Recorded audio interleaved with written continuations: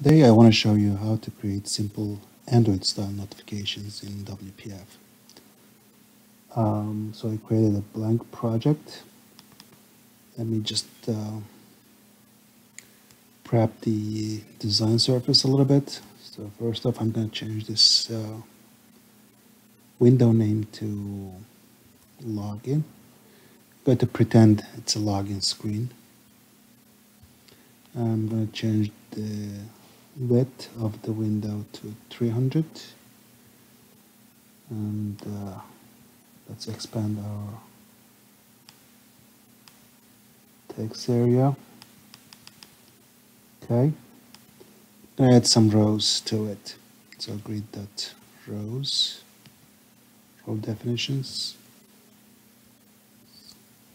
Let's add I think five Five rows should be enough. One, two, three, four, five. Okay, so we've got five rows. Let me collapse this. And um, I'm going to add a text box. Not block, text box. I'm going to give it a name. I'll call this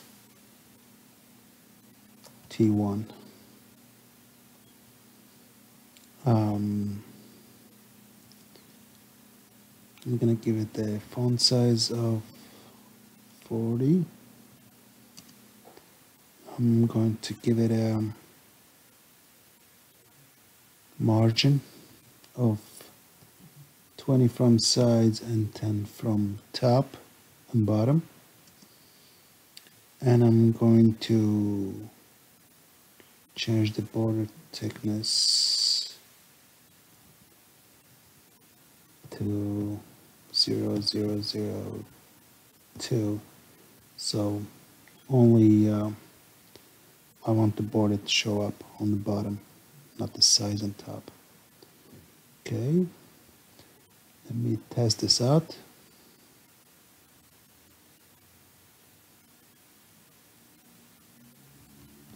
Okay, great. Uh, one more thing, I want the text to be in the center we break this line into two pieces. So text alignment, I want this to be center. And let's try it again.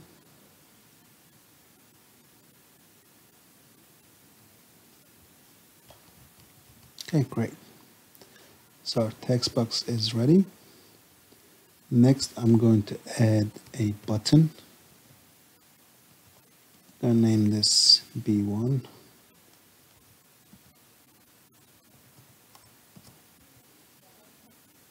Okay, I'm going to give it a font size again, 40. Give it a margin, 2010, and get a content of login.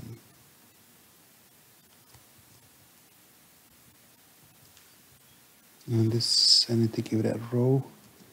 So grid that row, it's going to be one.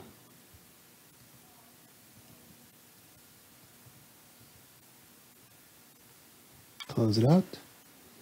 Okay, so the button, no actually I want the uh, row 2, the third row.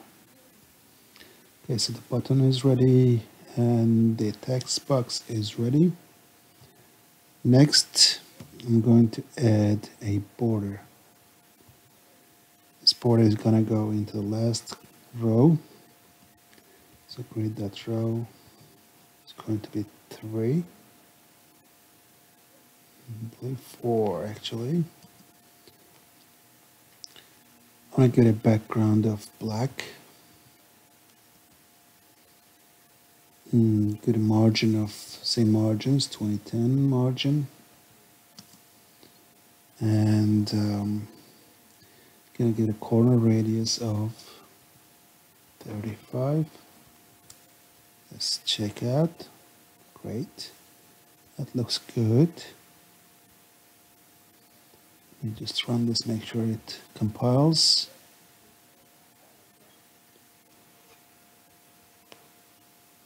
Okay, text box, button and the border. All right. So we have our border ready. Now we are going to add a style. So we're going to say border dot style. Okay, style, open close style tag. And we need to set the target type. It's going to be X column type, border. Inside our style, we're going to add triggers, style dot triggers.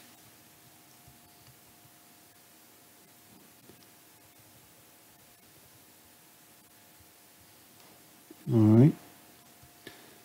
Here we're going to use data triggers. Actually, no, we're going to use multi-data triggers. Multi-data trigger. So multi-data trigger. Okay. So multi-data triggers um, has something called conditions.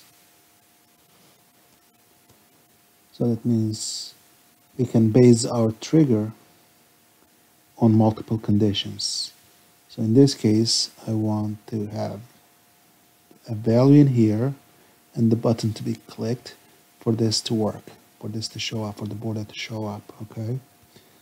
So I want to say um, condition, first condition, going to be binding. I want to bind this to text box. That's why we gave it a name.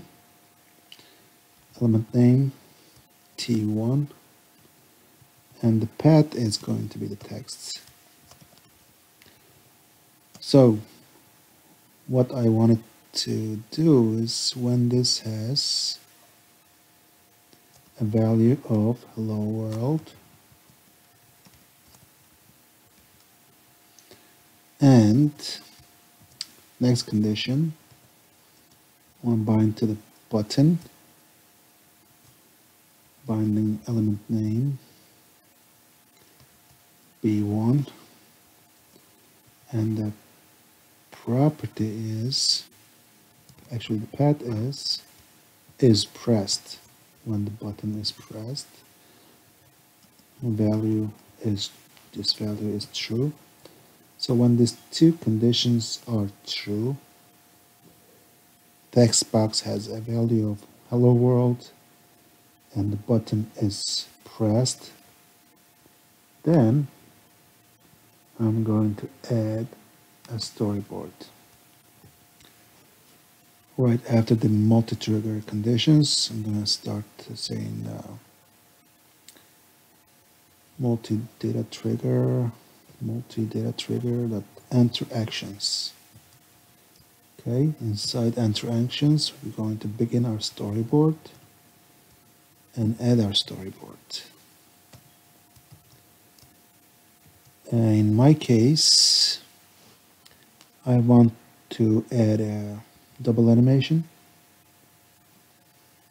I'm going to say storyboard target property is opacity um, let me actually bring this down so we can see it. Duration is going to be 0, 0 2 seconds. I want to go from 1 to 0 okay so let's build this and run it see what happens.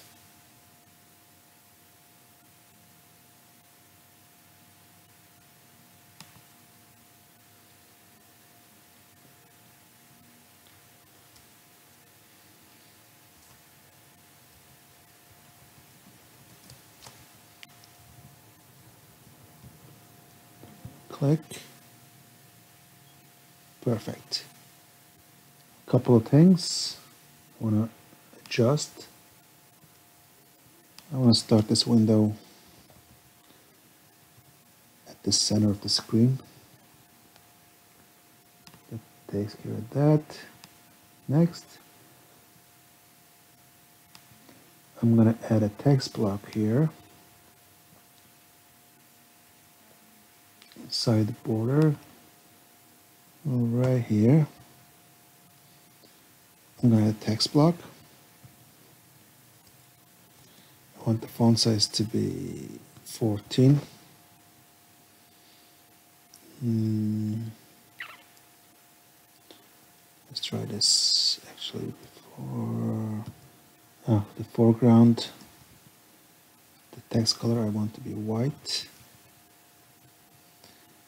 And I want to do a run text. The reason I'm doing this because I want to display what's typed in here along with welcome. After welcome, I want to give it a line break. And the next text, next sentence, I want to be displaying the uh, hello world that's entered into the text block text box. So this is going to be binding element name text box path is text. Right, uh, it's all the way up here, so that's to center the text. So text alignment is going to be center. Okay, yeah, I should give it a margin too, or padding. Let's try this. See how it looks.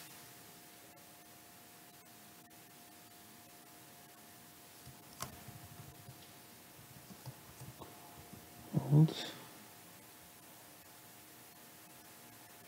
Excellent. Not bad. Okay. Um, one last thing I want to do is make this totally um, opacity to set to zero to start with. So at the beginning it won't uh, appear when we start the application. It now.